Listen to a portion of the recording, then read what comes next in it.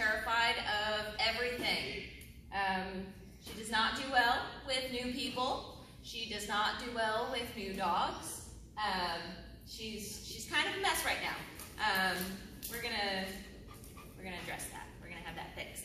Um, owner's main complaints are, surprisingly, none of her fearfulness. Uh, she is a jumper, a counter surfer, no door manners, pulls on the leash, typical puppy stuff, very, very mouthy. Um, the wife is pregnant and they can't have her jumping up on her.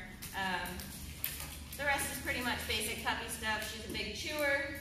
Um, that pretty much covers that. So we're going to see if we can get anything out of Aspen. Aspen, come. Come.